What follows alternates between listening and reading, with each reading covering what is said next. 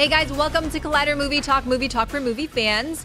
I'm your host, Ashley Mova, and this is the daily show. We give you all the latest news from the world of movies, plus some insight into what it all means. Leading off the show today is John Campea. Well, greetings and salutations, everybody. Welcome to the best damn movie related show on the planet Earth, coming to you from right here at the Collider Video Studios here in Burbank, California. And we are so glad you decided to make us part of your day. Also, here is Jon Schnepp. I feel younger. I feel so young. Hey. It's Jon Schnepp's birthday today, ladies and gentlemen. Birthday, Schnepp. Running towards the grave. I'm running. Oh, hang on a second. Happy birthday, Schnepp. Also here, Perri Nemiroff. Happy birthday, Schnepp, and how's my mic? Do we need any more adjusting from mm, I anybody? think we just need just a oh, okay. Is it working? Also, Good. here is Mark Ellis. Happy birthday. We gotta pay. Stop it! Stop it! Stop it! Stop it! Stop it! We're gonna get in copyright trouble. What? Really? Yeah. No, that's ah, over. Is that ended It's, now? now you can do it. It Really? Yeah, it Like- ended like like, you can actually sing can Happy sing Birthday it, now? And then no- there's no lawsuit anymore. You can I don't think the birthday song people would want to flag what I just did. I think you're lying, and you just want us to sing Happy Birthday. I absolutely am not lying. You can Google it right now. No, it's true. All right, hey, listen, guys, we got a bunch of cool looking things here in the sidebar, but a couple of things that had not dropped when the sidebar had been created have dropped, starting off with a little trailer about apes. Ashley, tell us about it. 20th Century Fox has released the final War for the Planet of the Apes trailer online.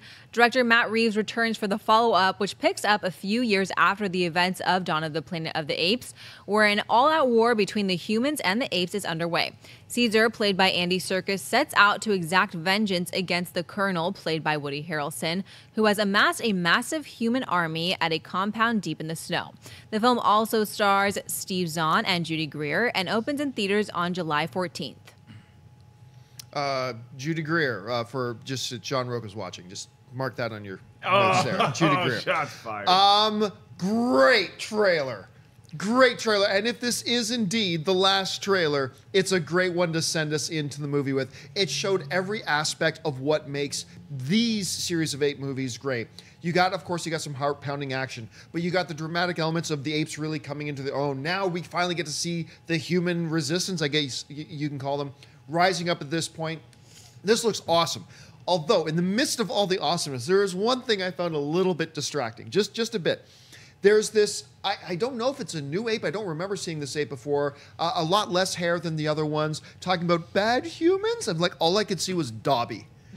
Like just in the way he looked and talked, all I saw was Dobby the monkey. That's all I saw. I, I, and but other than that, this trailer is fantastic. I loved it. I cannot wait for this movie. Uh, John, this trailer did what I hoped a War for the Planet of the Apes trailer would do. Is it proved you can be strong and thoughtful, intelligent, and still have no desire to wear pants whatsoever. I am so on Team Ape here, but I'm on the team of this movie more so because this trailer showed us so much without spoiling anything. Like it's hard to do that over three trailers to show us all this cool action and set up what the story is without giving us too much and us having to be like, oh, okay, easy guys, I don't want to see this anymore. I'm ready to get into the movie. I think Woody Harrelson looks like a menacing villain, the best kind, your favorite kind of villains, because he thinks he's doing the right thing. I'm a human. I'm rooting for the apes. Looks magnificent to me. Perri. I love this. And I love the fact that it feels like a final trailer, too. Because the cool thing about this, if you go back and you watch all the trailers, it does add a little more every single time you watch a new one. Yeah. But we still don't really know much about the story. When you watch these trailers, the story I come up with is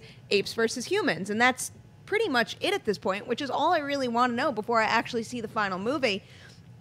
This thing looks beautiful too. I don't know why I'm so surprised every time I watch a new piece of promo material from this movie, but I mean the design of the apes and just the shot design overall. I mean, still when I see those the the green lasers going through the darkness, everything is kind of just blowing my mind. I'm really I mean, every single Apes movie has looked beautiful, but Yeah. I'm kind of bowled over by the visuals I've seen so far in this one. Schnepp. Yeah, this looks like a really well put together film. I think this is my favorite trailer of all of them. Though I did kind of like the maybe the second to last one where it was like Woody Harrelson like shaving Oh, or whatever, putting on the weird war paint and stuff. Because it was definitely setting it up apes versus humans. But with this trailer, we did we got the weird skinnish, like weird Dobby ape, but we also had a little bit more of the human character that the apes Yeah. are kind of adopting or or taking with them. So They're X twenty three. yeah, it's like or Nova or whoever it's gonna whoever that's gonna end up being. It's like I think it's great. I want to see more. I hope this isn't the last Apes movie because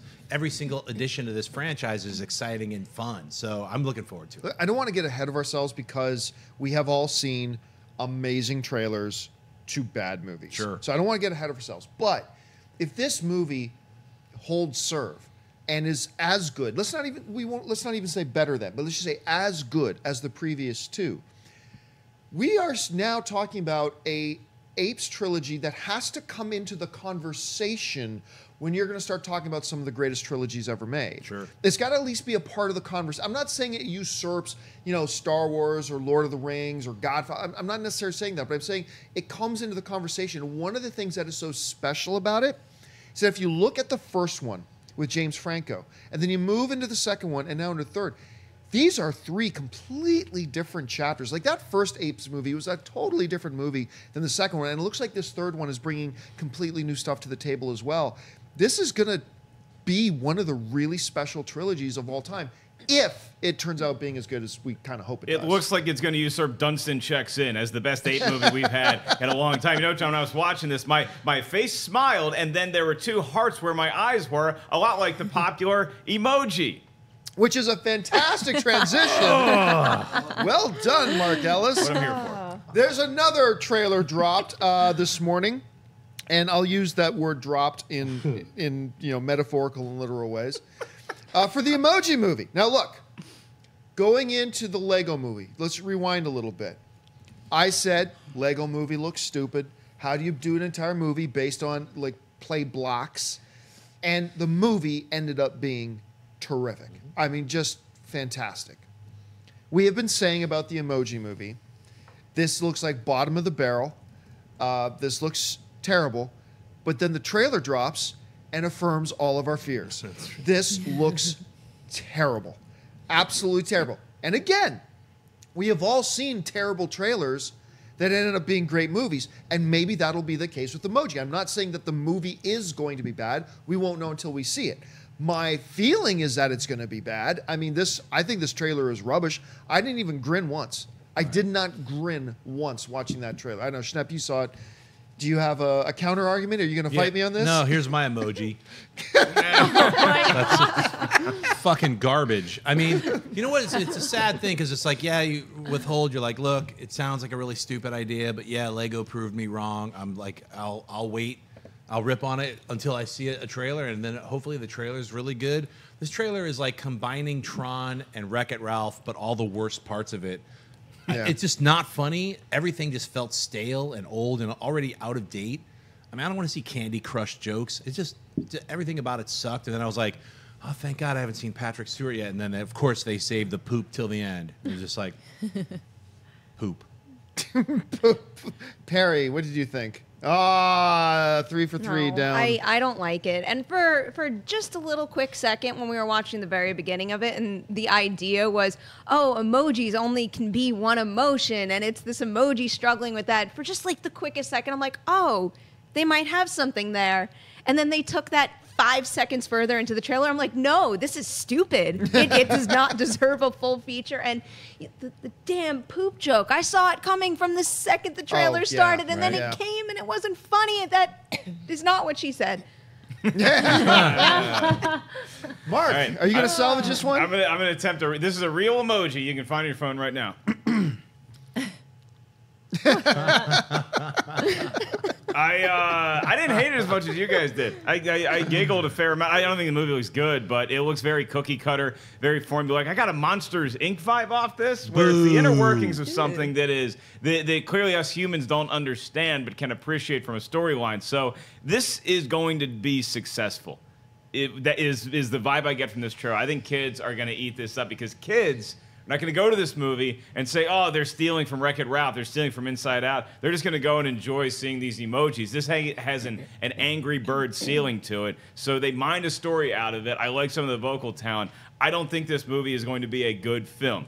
I giggled a couple times watching it. I like seeing Steven Wright's voice show up as T.J. Miller's Wright. dad. That made me laugh.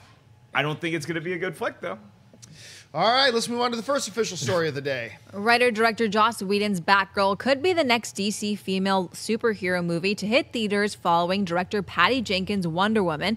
This, according to Deborah Snyder, co founder of Cruel and Unusual Films and the producer of the DCEU movies.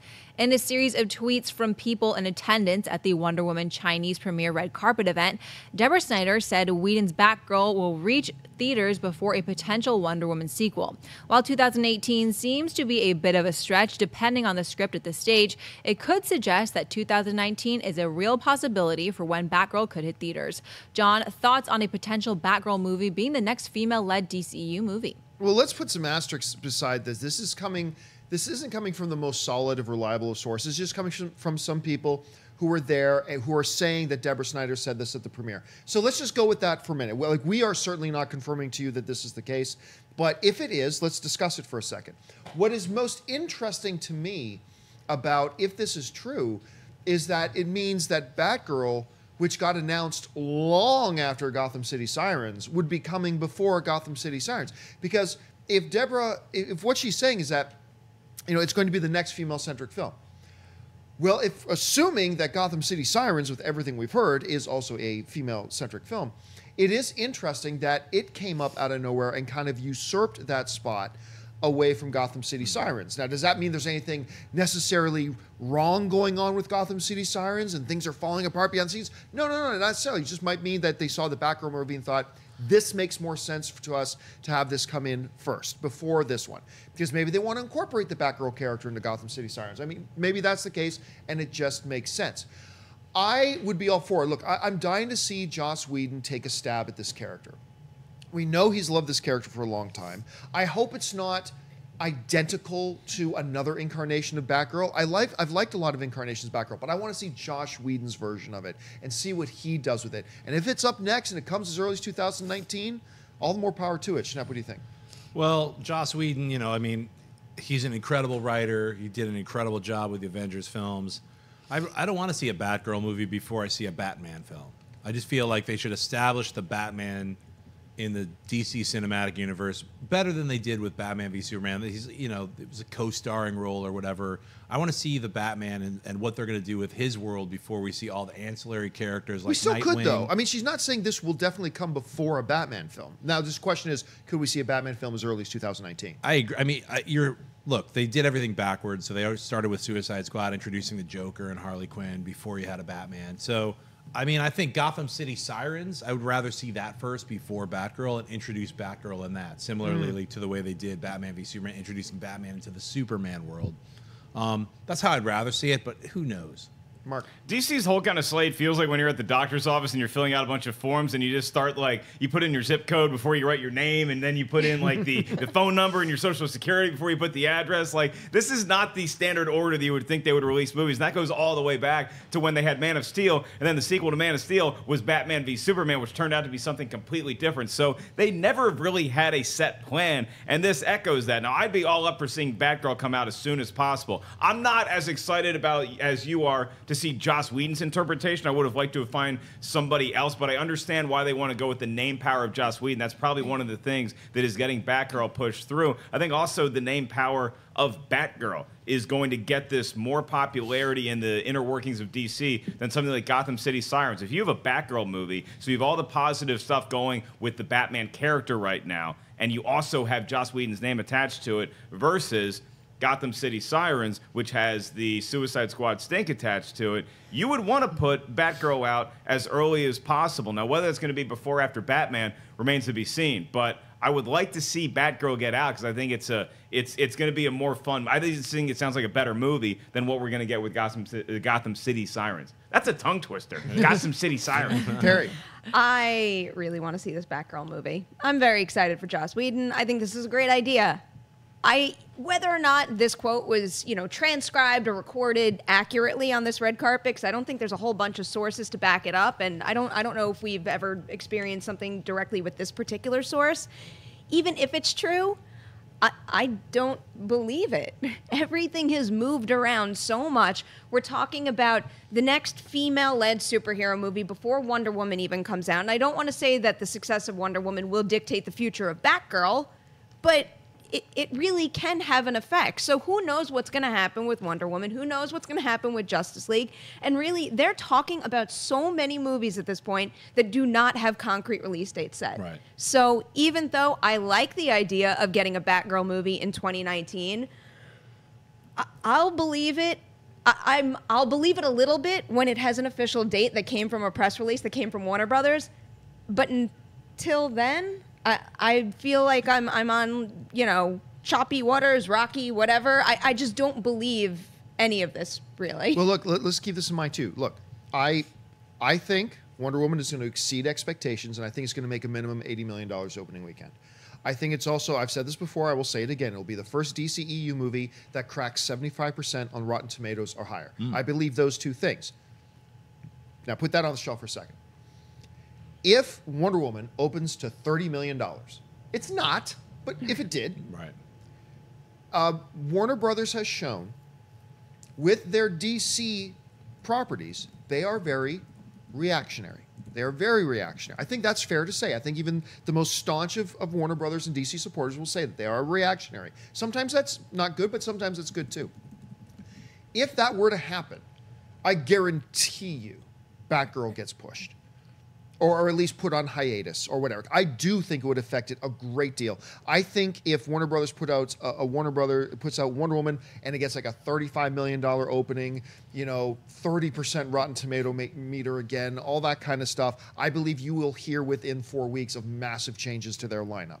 I don't think that's what's going to happen. I think Wonder Woman is going to be an incredible success. Um, but but you know, if that were the case, I do think it affects it. It's just frustrating if you're a DC fan right now because you're waiting for all these characters to get to the big screen in a way that you've been dreaming about seeing them your whole lives. Hopefully, Wonder Woman can do that, but they can't even get their their flagship character Batman into a movie in into like with all these changes happening with Batman. It's like if that guy can't get it in shape, how is anybody else going to be able to have any sort of you know concrete timeline where we know when the movie's coming out? So it's just a frustrating thing right now if you love these DC characters like we do. Well, right now, the 2018 only has one film coming out. It's Aquaman. I mean, because the Flash got pushed back, Batman's gotten pushed back. So I honestly think Gotham City Sirens will be the first female-led film to come out. Why? Because Suicide Squad made so much money, and Margot Robbie as Harley Quinn is a an incredible character, and lots of people want to see continuing adventures with her. She's already established. That's money in the bank.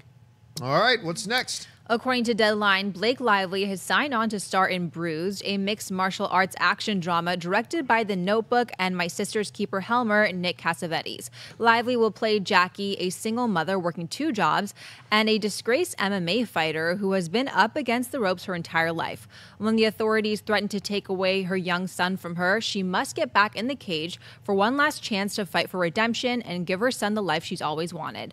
The deal is being finalized at the Cannes Film Festival with a September start of production being planned. Perri, thoughts on Blake Lively starring in the MMA movie Bruised? I love this idea. I'm not, I don't watch, I know some of you guys are fans of MMA, and my thing with it is whenever it's on, I will leave it on and I will become engrossed and obsessed with it. And then I'll turn it off and I'll forget about it until it happens to come on my TV again. I just love the idea of bringing MMA, boxing, all those sorts of sports to screen because one of one of my favorite recent boxing movies that got completely brushed aside was that movie uh, I think it was called Bleed for This with Edgar Ramirez right. that deserved more credit than it got and i really just and all, i mean also when you want to talk about creed i just love the way that you could shoot scenes like that because creed in particular had some of the best fight sequences i've ever maybe ever seen in my life in terms of that sport but i think this movie has lots of potential and i think blake lively deserves a shot to lead something like this i mean she's obviously proved that she has some box office clout with the shallows you like you like my shark plug She's gonna fight the shark in this movie. exactly. There you go. But really, she deserves something like this. I kind of want to see her her push herself, you know, both in terms of dramatic acting and also something like this would pose a serious challenge for her physically also. And with Cassavetes, it's a it's a nice switch to a degree. I mean, obviously he's particularly famous for The Notebook, but I really loved Alpha Dog, and this seems like it could be a good combination of you know real intensity and heart to it too. So I think this is a great package. This is terrific news. I think Blake Lively is one of those actresses who is better than the movies she's been in would represent. Because you even take a mediocre at best movie like Savages. I thought she was terrific in that movie. I thought mm. she put on a hell of a performance in that movie in some very challenging kinds of scenes and very challenging kinds of dialogue. And I think she acquits herself very well. When I hear about this, I go back to Warrior. Warrior was so damn mm-hmm. good, so damn good. And so I think the world now. I'm I am biased because I'm a huge mixed martial arts fan, right? So obviously I have I'm predisposed to want to see an MMA movie. But when you get talent like this, with a director like this, I love the idea. This it's a classic underdog kind of story. It's a redemption kind of story set into the world of MMA. It's there's not much here for me to not be excited about. Schnepp, what do you think? Yeah, I mean, I'm I'm not a watch MMA. I know a lot of I've got a lot of friends like Josh Barnett who who actually beat the hell out of dudes in a ring. So it's like, you know what I mean? It's like, and you guys watch it, so sometimes I'll see you guys watching it and whatnot. But um, for myself, this kind of this kind of storyline echoes like the wrestler, like the Mickey Rourke film. It definitely it has that kind of like where you like have a person who's put up against the ropes, so to speak, in real life, and they have to go back into something that they kind of maybe left or were disgraced doing, and they have to do it again. It's a comeback chance. So I think it's kind of cool to see Blake Lively do it. You know, I, I'm it, it just because I've seen it male the male version. I'm looking forward to seeing the female version. Isn't it great that this deal was finalized at Cannes Film Festival too? Like they're just sitting around eating cheese, drinking wine, talking about beating the crap out of people in a ring. I love this idea. I'm not a big mixed martial arts fan because when you have to do it on the mean streets to fight crime, you tend not to want to watch it at home. Now having that out of the way, I enjoy sports movies. I love a good sports movie. It doesn't matter what the sport is. Like something like Warrior really affected me emotionally. Boxing movies, I'm a huge fan. This sounds a lot like Southpaw, mm. where you have to get back in the ring to fight for not just your legacy in sport, but also to help keep your family together. So it's clearly going to have that emotional tinge to it. And you're right, Blake Lively. I thought she was very impressive in The Shallows, in The Town. She did what she could in Green Lantern. So I don't fault her for the movies she's been in that haven't been great, but I think she's got a lot of potential. So I'm on board. It's got a real flavor of Cinderella Man to it as well, like the way you were describing that. Like you got to come, you, you're fighting for more than yourself. You're fighting for your family as well, and I like those types of takes. Let me ask you a question. If if she hadn't lost and she was still like this undefeated, like greatest in their sport of all time, do you think Ronda Rousey's up for this role? Uh, I think she would erroneously be in the conversation from for it, uh, and I'm a big Ronda Rousey fan. Even though like she should retire, by the way, she should absolutely retire. She's done. But even though I'm a big fan of what she did for the sport, she did more for women in sport than I think any female athlete ever has. That being said, she's not an actress and she can't act. She should never have been up for any role in any movie ever. And if she was still riding high in all this popularity, I would hope that a director like like, like Nick would say, "No, I am not putting I'm not putting this Dude, non-actress." Ronda in this Rousey was good in Fate, like whatever that stupid Furious movie was. Entourage, jumping too? around, Yeah. yeah, jumping around, fighting people. I would I would take I would take the Williams sisters as the more important figures in female sport. But no, I, I think it's up for debate because Ronda Rousey was huge for her. She transcended her own sport. All right. Well, listen, there are a few movies opening up in theaters this weekend. Only really one worth talking about. Which one is that? It's Alien Covenant. Bound for a remote planet on the far side of the galaxy, members, Katherine Waterston, Billy Crudup, of the colony ship Covenant discover what they think to be an uncharted paradise. While there, they meet David Michael Fassbender, the synthetic survivor of the doomed Prometheus expedition. The mysterious world soon turns dark and dangerous when a hostile alien life form forces the crew into a deadly fight for survival. Uh, look, uh, if you want to see my full review, it's up on our Collider YouTube channel right now. Just go into under reviews and you'll find it there. But, you know, spoiler.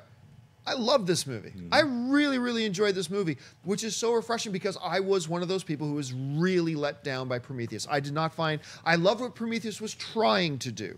I love the mythology they were trying to set up. But everything that, to me, as an audience member, that Prometheus failed at, I felt like Alien Covenant picked up on and then completed properly, and then mixed the feeling of the first Alien with the second film, Aliens, and gave you the best of both worlds to me. I'm not saying it's the best of the franchise. Aliens, to me, still has that crown and probably always will. But this was, if you were a fan of Aliens, you're going to go into this movie, you're going to enjoy it for what Prometheus was trying to do, and you're going to enjoy it for what Aliens did.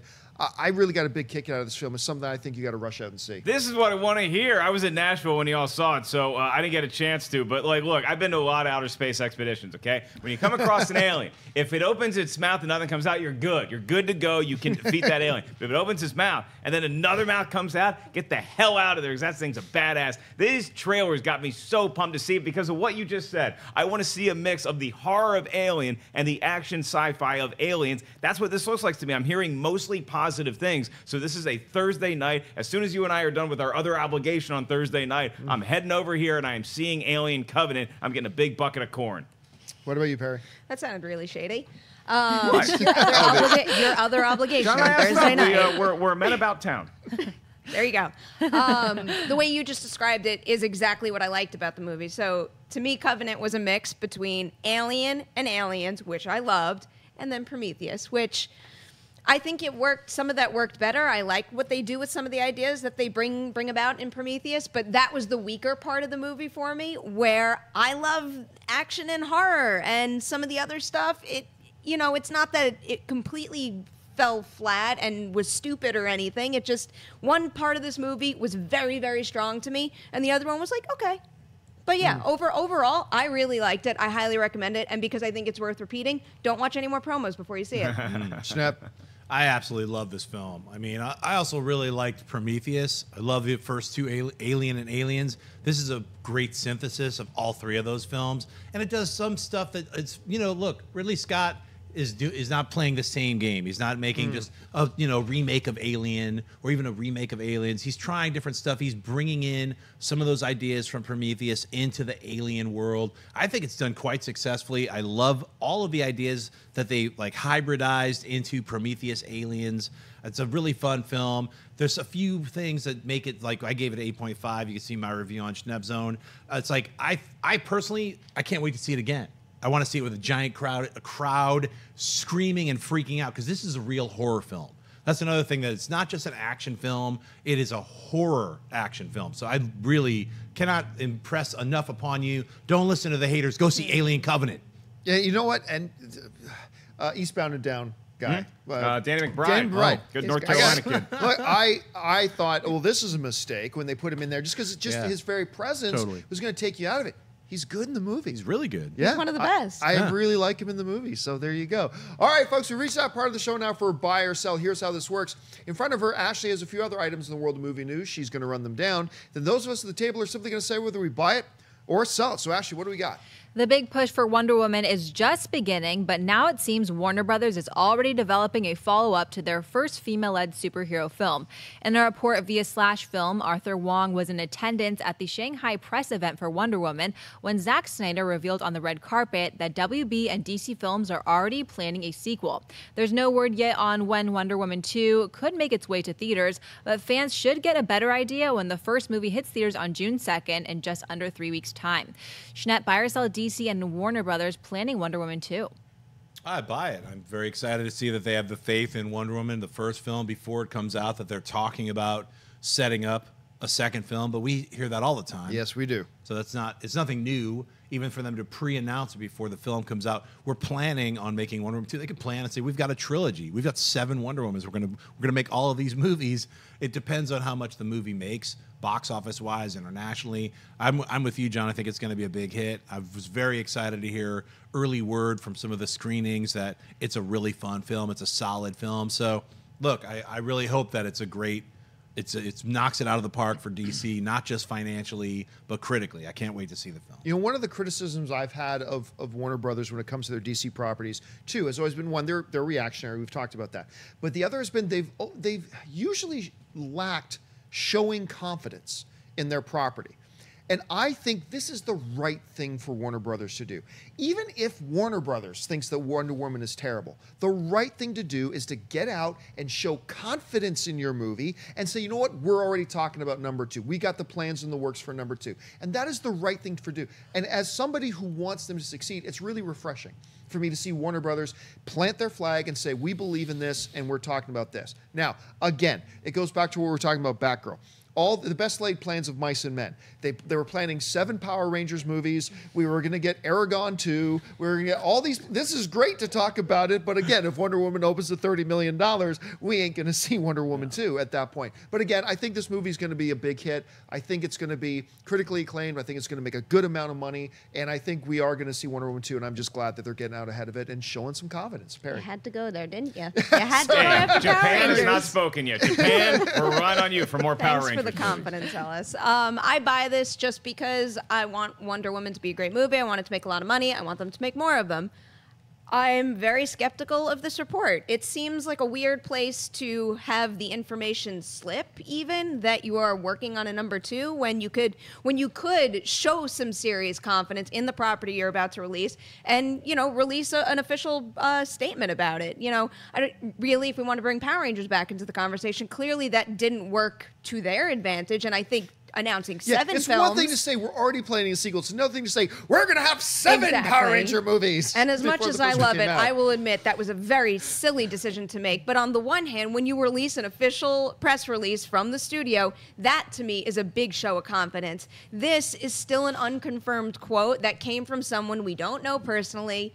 Who knows what was really said and what context, what what her intonation was when she said the sentence? I don't know, but until until I get that official press release in my mm. hands, I'm not going to get too invested because I see what happens when I get really hyped about a DCEU movie and then it's pushed back, things are shifted. Who knows what can happen? Yeah, I mean, if these reports were true, then I would welcome this news because I like when studios have some sort of plan going forward. I would much rather have you, uh, you know, map out where this movie's going to go in the next three pictures than be like, oh, we don't think it's going to be good, so let's not even worry. Oh, crap, it did well. We got to start writing a script. Like, I like them having some idea, but I agree with John and Perri where you don't pull Power Rangers and go and announce that you have seven movies. This isn't the Power Rangers universe, and this isn't even the Mummy, who I think is getting a little ahead of themselves when they're like, hey guys, we have 19 monster movies hmm. we want to tell. Easy. Let's see how the Mummy does. This is a comic book movie. This is a big time comic book summer movie. We expect sequels to that. This is not shocking news to anybody to hear that, oh, they're thinking about doing a sequel to Wonder Woman. Of course they are. They should have this mapped out because I think this movie's going to crush. I think a lot of people are going to like it. I think people are going to want more from Wonder Woman. So this, John, boils down to like when I go to lunch, you know what I'm thinking about? Dinner. I'm thinking about the next meal I have. When I go to bed at night, I'm thinking about the nap I'm going to get the next day. You think about the next time you want to do something fun, as opposed to the one time I went to Kenny Rogers Roasters and I was like, I'm never coming here again. Come on, Kenny Rogers Roasters. Dude, it was wasn't that horrible. bad. No, it, it, was is pretty horrible. Bad. It's pretty bad. Yeah, they had their run. All right, what's next? THR is reporting that the Crown star Claire Foy is Sony's top choice to play hacker Lisbeth Salander in its adaptation of The Girl in the Spider's Web, a relaunch of the Girl with the Dragon Tattoo franchise that has Don't Breathe Helmer Fede Alvarez attached to direct. The studio has been on the hunt for a new actress to take on the role, with sources for THR saying the finalists came down to Foy and Felicity Jones. The new film is based on the fourth book in the series, which was written by David Lagercrantz and released in 2015.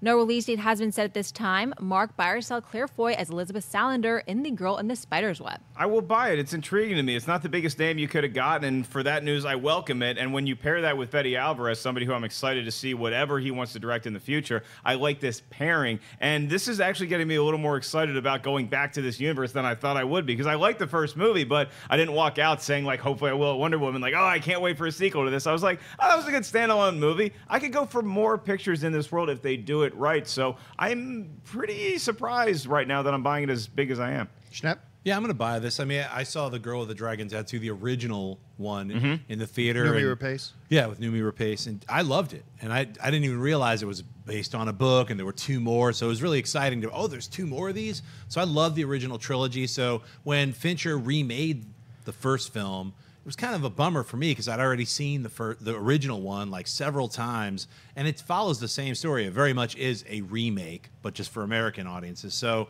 I, I welcome a brand new version, and I, I'm glad that they don't, they're not sticking, they're not touching those other three books. Those have been re- done to death. The original, you know, version is the best version to see. I want to see this version. So hopefully they make more of them. I like the character. I'm one of the rare people that I actually preferred Fincher's 2011 remake, uh, and I and I do really like the original one from 2009 as well. I just thought there was something really special. I loved the chemistry between Daniel Craig and Rooney Mara, who I thought gave a hell of a performance in that. And I have really been waiting for them to do a sequel. I've wanted I wanted Fincher back and new and not Noomi Rapace. I'm sorry, Rooney Mara back and Daniel Craig back. I wanted to see these people come back and continue what they started. Clearly, that all fell apart. So, that out of the way, understanding I'm disappointed about that, I buy this. You got to. Fede Alvarez is on a roll right now. The dude has just proved you can give him any elements and he'll make a great story Wait, out he's going to direct this? Yeah. Yeah, Wow. So how did I miss that? I, I don't know because Can I Ashley read it. quadruple story, buy it Schnepp. now? Yes. I'm like even more excited. You know, Yes. Schnepp, when, when somebody gets up there in years, um, they I'm sorry. don't necessarily Mark, hear everything. I- That's not wait a cool. sec. Just repeat what you said because you I want some tea? I can't see you right now either. I- Careful, it's almost his bedtime. All right, uh, I, I buy this. This is, to, and then you add the girl from The Crown, which is like the hottest show on TV right now. Uh, of course, yeah, I'm disappointed they're not continuing with the with the last round of cast and director they had. But if that's not the case, this is as good as anything. So I buy it. I buy it as well. And, you know, I haven't seen Wolf Hall or The Crown, but she got a, a SAG and a Golden Globe Award for uh, The Crown. So I know she must be talented. I think I've seen her in like small supporting roles here and there, but nothing that says to me she's going to be perfect for this part. But I was never particularly attached to the Fincher remake of uh, Girl with the Dragon Tattoo. So it's not like I'm so attached to that that I can't move on to a different story with different people in those roles. But even then, because I wasn't so attached to that, I feel like I kind of don't care to get more of these at this point. I am perfectly fine with the originals. And the only reason that I am so high on this movie now is freaking Fede hmm. Alvarez. I, Yeah. He is just so, so talented between the Evil Dead remake, Don't Breathe. I cannot wait to see what he does in this world. And it, this is the kind of thing that I think is going to force him to adapt the style he has established so well in those two movies. So I'm really excited to see him grow as a director more so than anything. All right, what's next? Universal Pictures has unveiled a new behind the scenes featurette for The Mummy, and it gives us a better look at Russell Crowe's Dr. Jekyll character while also giving his other, more sinister side with Mr. Hyde. The film marks the beginning of an interconnected universe of Universal Monsters movies, with the major connective tissue from The Mummy and other future films being Crowe's Dr. Jekyll character. Directed by Alex Kurtzman and starring Tom Cruise, Crowe, and Sophia Boutella as the mummy, the movie is set to hit theaters on June 9th. John, buy or sell the new featurette for the mummy.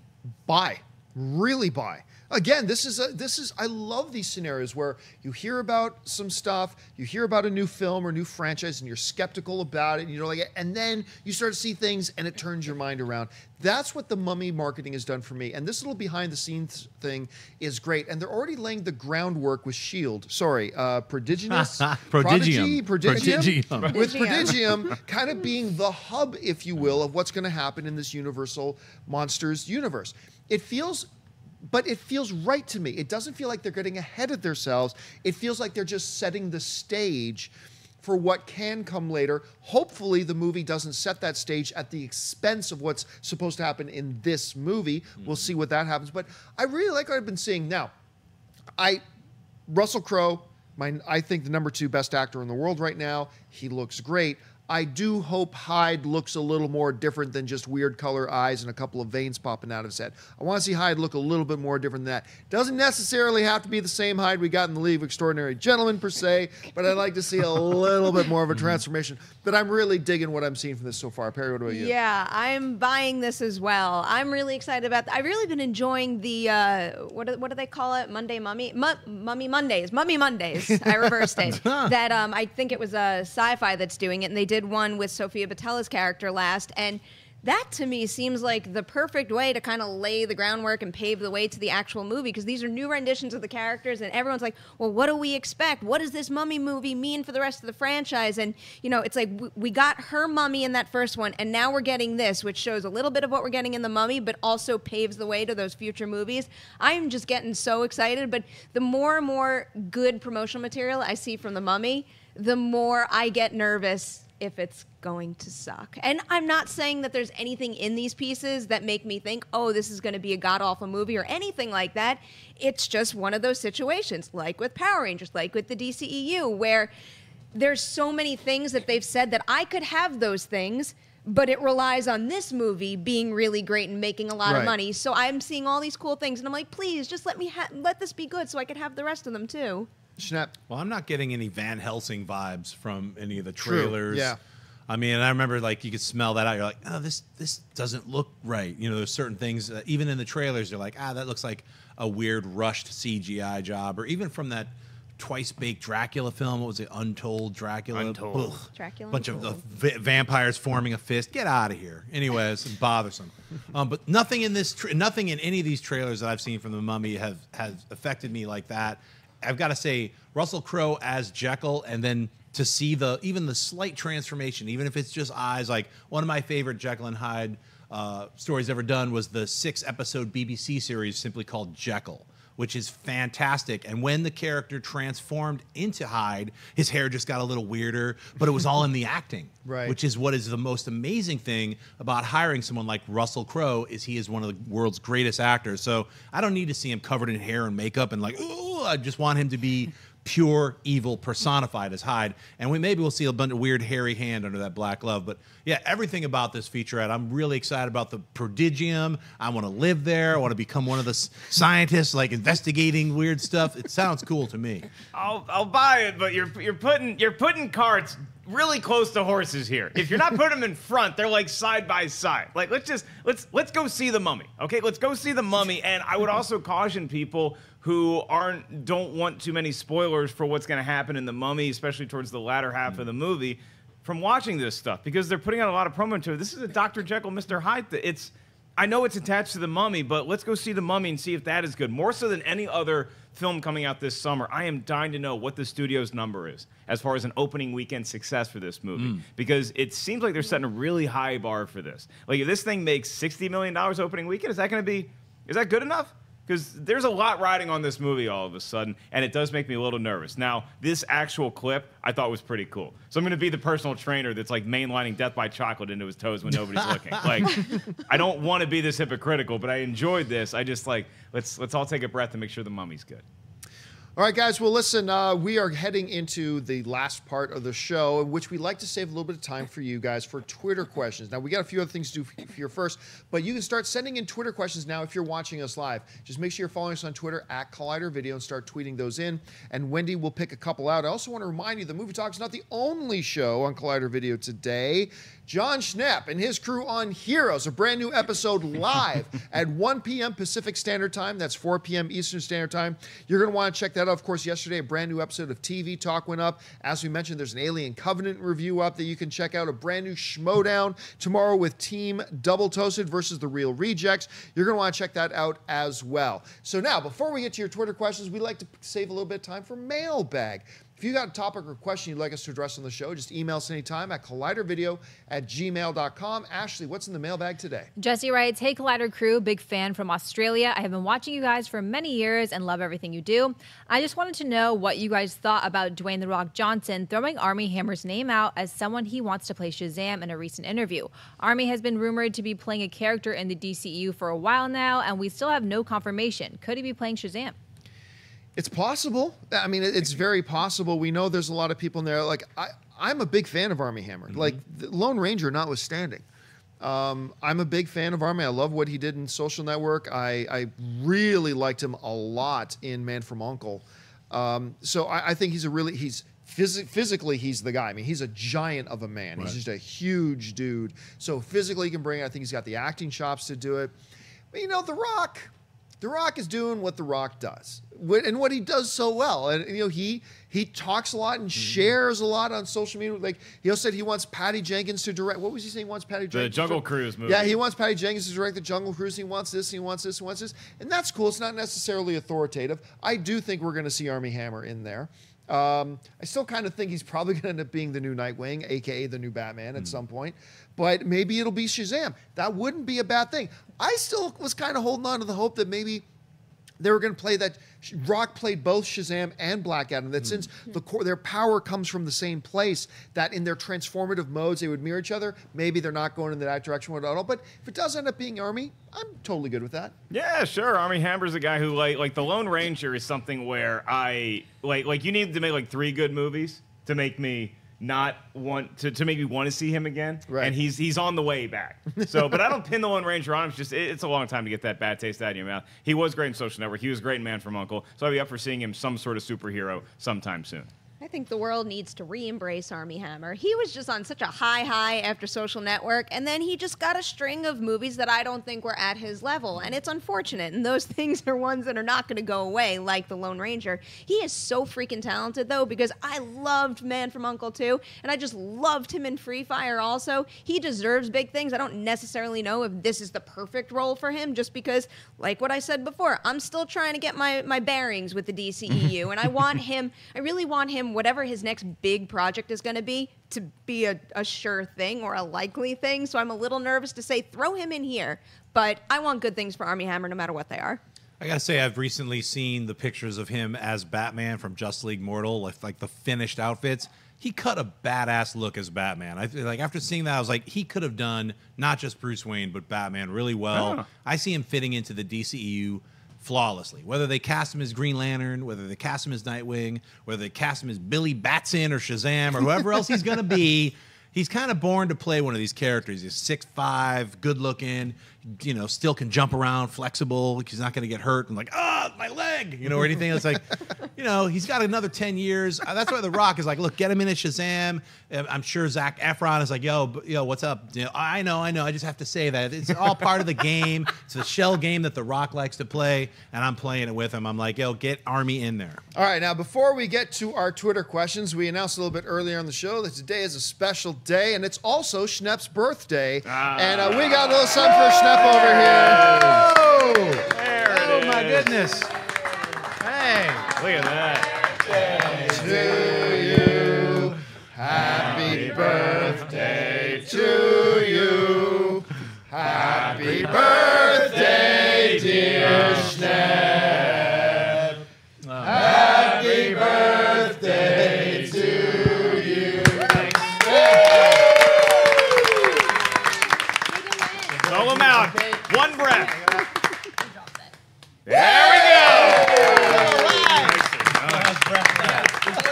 Thank, thank you, thank you, my Collider family. You guys are all awesome. Happy birthday, buddy! Now, now, somebody take the cake away from him. We'll eat that later. yeah, Schnepp, you- I think other than, uh, let me look around the room really quick. I think other than Dennis and me, like you've kind of been with us the longest.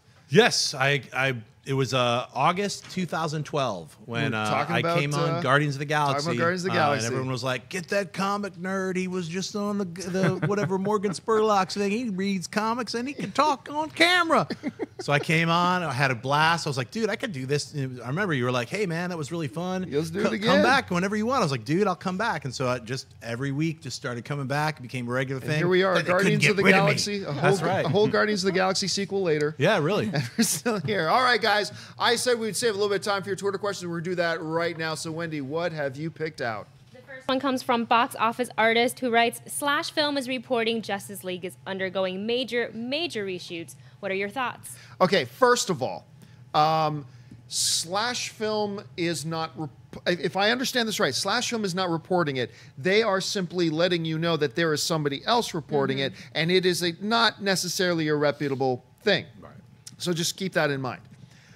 But duh, we've been telling, we've been saying forever, every major blockbuster movie plans and schedules and budgets for going back in for reshoots. They all do it. And I feel like every single big blockbuster movie comes out now, it's, did you hear they're going for reshoots? Should we be worried? No, this is part of the plan. Look, I'm not saying Justice League isn't a mess. Maybe it is. Maybe it'll be terrible. I don't know. But don't let the fact that we hear that they're going in for reshoots bother you because they planned to go in for reshoots. They budgeted for reshoots. They scheduled for reshoots. Why? Because when you're a movie that that's big and you have that kind of a budget, the studios know you want to sit down, watch what you're putting together, and you will always come up with new and maybe better ideas. And when you're a big blockbuster, you can have the luxury of the time and the money to plan to go back and tinker with the things you want to tinker with. So,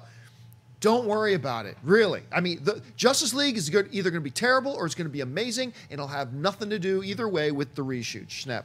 Yeah, let's use Rogue One as a great example. Everyone was crying about like 40% of the movie's been reshot. It's going to be horrible. And that scene of her running in the dead, you know, that's not in the movie. It's like I loved Rogue One. Everything they did, they plussed it. I like using that terminology. It's not just pickups, they're plussing the scenes. Marvel always saves a little pocket of time. They're like, look, we're going to come back and shoot some new stuff. We're going to probably take some scenes that didn't work and throw them away. They become deleted scenes, or maybe you never see them it's nothing to worry about. It's it's really trying to make the best two-hour product or under two-hour product that they can make a story that will be enjoyable from beginning to end and exciting and something that you want to see on the big screen. So I think you know them doing reshoots for Justice League, whether they've done three, whether they've done five weeks, whether they've done six months of reshoots, it's all to make the final end product that we're going to see in November as good as it can be. So I, I don't think you should be worried about it. All you should really care about is when you see the movie is it as good as it can be? So that's really the final, the litmus test is like, was it a good movie? Perri. That's what it comes down to, what the final movie is. But still, with this particular report, don't read into it too much because I don't believe this source has the greatest track record. It's not coming from someone that any of us really know or could vet. And also, it reads like a total misunderstanding of how Yeah. this whole operation works because you know, you're talking about remaking a movie, reshooting a movie, like redoing a movie in a way. Like that's what happens in the editing process. You take your footage, you edit it one way, you decide to make certain changes, you go out and you do reshoots for the for the bits that are missing, and then that's your your second version of the movie. And then there's also the issue of having even more reshoots when Henry Cavill is working on Mission Impossible 6, when Gal Gadot is pregnant. There's just a whole lot of things that are not quite aligning here. So I think this is just a slightly confused interpretation of what's really happening and not a red flag by any means. I think like DC, they, they should just change the term reshoots to just be like the headline should be DC is making the movie better. they're, that's all they're doing. Like like nobody ever does reshoots and they're like ah you know what guys? We really like this movie. Let's go make it worse. Let's go shoot some more stuff that doesn't need to be in there. Doesn't happen. Now they may be changing it dramatically. We don't know that as long as the movie is good when it comes out, I don't. You could be shooting the day before. You could be shooting the Wednesday before the Thursday night release, and if it's in the theater in time for me to enjoy it, I don't care. Look, and, keep this in mind too. This all the reason we get triggered a little bit about when we hear reshoots on that much because we're coming out of an, an era of for the longest time for a hundred years that a movie had a budget and it had a schedule and good or bad they had to come in on schedule and come in and try to come in on budget and if they realized the movie was bad in the editing, oh well, just launch it in January, hide it in the marketing, whatever, because they didn't have any other option.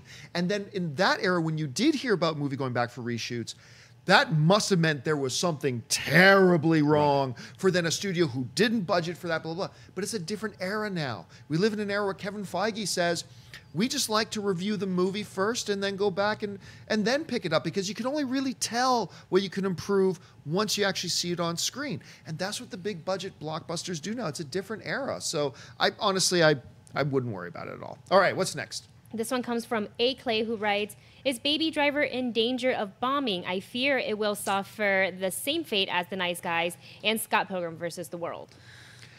Well, it all depends. I mean, I'd have to look up. Uh, look, any movie can bomb. Any movie can. I mean, it's not a superhero movie. They're not saving the world. It's about a kid driving a getaway car. Could it bomb? Sure. But bomb becomes a subjective term and relative to how much money did they cost did they spend making the film. In the case of Baby Driver, they didn't spend a lot making it. Like King Arthur, which makes $15 million opening weekend and costs you know, 175 million dollars to produce. That's not counting marketing and dis- distribution, all that kind of stuff. That's a bomb. Whereas like another movie like Baahubali 2 can make 30 million dollars opening week, and we consider it an absolute smash because it's all it's all relative and stuff like that. I don't know, Perri. How do you address that? Um, it's also the issue of you know it's it's an Edgar Wright movie, and I don't mean that in a in a bad way, but Baby Driver I think is in a good position to be the biggest opening of all of Edgar Wright's movies, but that is going to mean something like a 15 million dollar opening, which on summer standards that might not say smash hit. But it certainly is a step up for him. And, you know, with Baby Driver, it's not going to compete with things like summer movies like Transformers and Spider Man. But if that movie comes out and the buzz continues to be as high as it is, I mean, I think that has 100% on Rotten Tomatoes. Everybody who I spoke to who saw it at South by adores this movie. That's the kind of thing that could open 15 million and then just go the distance. And that's what I'm hoping for. I think something like The Nice Guys is a good comparison because people. I don't think The Nice Guys like it, it wasn't like a bomb. Like it didn't like lose a crap ton of money for the studio. It might have lost some money, but as far as a bomb goes, I think you're thinking more like the, the how good the movie was versus how many people ended up seeing it. So I don't think Baby Driver is going to lose money at all. Now it may be one of those situations where the movie's great and just not enough people get their eyeballs on it. But those movies tend to stand the test of time, whether it's in theaters or on whether it's streaming afterwards or whatever. But I think Baby Driver is going to be just fine if it's as good as the trailers look. Which right now they look awesome. I cannot wait to see this movie. Uh, do, do we know how many theaters it's opening in? No, it's probably going to be about 2,000. I, I want to say it's like maybe 2,800. Wow. So I mean, that's going to have a giant opening. What's Yeah. it coming out against? I believe Despicable Me 3, which is a Despicable different Me audience. Three So- and uh, and uh, House whatever the House or whatever the Will Ferrell uh, Amy Poehler Oh, The movie. House and Amityville, Yeah, which so but but doesn't that, matter. like House that's also a comedy and that's got two big comedy stars in it who are bigger names than anybody in Baby Driver. So you're going with a story, you're going with an underdog versus Will Ferrell and Amy Poehler. So I I think that that could take money away from it, but that might just be one of those weekends we talk about a lot on Monday where you look at the box office and it's like everything did at least. $15 million. You had a couple Right. movies do 15 to 20. You had a couple do 20 to 25. You had one bigger one, which is going to be Despicable Me 3. So hopefully it's just one of those weekends when everybody goes to the movie. Yeah, it sounds like it's a counter programming weekend, and it's like I guess if if uh, Baby Driver keeps the word of mouth going, I think it'll be a smash hit. It So- also is getting a little bit of a leg up on the competition by coming out in theaters on a Wednesday. That's where that's how it's listed here, and the release still says wide. So I, I don't know how many theaters it's coming out. That's going to be one of those films, like because Edgar Wright's films are always talked about and they're witty and they have really good scenes in it. It's one of those things that everyone who sees it is going to be like, "Did you see Baby Driver?" People are not going to say that with Despicable Me three, even if it's fun. It's like that's a family film. I don't think they're going to say that with any of the other opening films that weekend. Baby Driver is going to be the film that everyone is talking about. All right, guys. Well, that'll do it for this installment of Movie Talk. Thank you so much for joining us. I want to thank the people sitting at the table with me, starting with the birthday guy himself, Mr. Jon Schnepp. Schnepp, where can people find you? Hey, you can find me uh, slowly devolving into a child in the year 2400. um, but right now, you can find me just on uh, YouTube uh, at Schnepp Zone. You can find me on Twitter and Instagram at Jon Schnepp for another 50. Right beside me, Perri Nemiroff. I am on Twitter and Instagram at P. Nemiroff, and of course, Collider behind the scenes and bloopers every Saturday. This week's episode involves eggs. All right, over here, Mr. Mark Ellis. You can find me making Schnepp happy by screaming enjoy watching Alien Covenant this Thursday night of the movies. You can find me on Twitter at Mark Ellis Live. Over there, we got Ashley Mova. Twitter, Instagram, and I started a YouTube channel, so you guys have to check that out. Ashley Mova. Happy Tuesday, guys. And Wendy Lee. On YouTube at the Movie Couple channel and at Wendy Lee Zaney on Twitter, Instagram, and Snapchat. And you guys can simply follow me on Facebook, Twitter, and YouTube, just at John Campea. That'll do it for us, guys. Thank you so much for joining us, and until next time, bye bye. Hey guys, if you like this video, click the thumbs up button. Also, make sure you subscribe to our YouTube channel. It'll help you stay up to date with everything we've got going on here at Collider.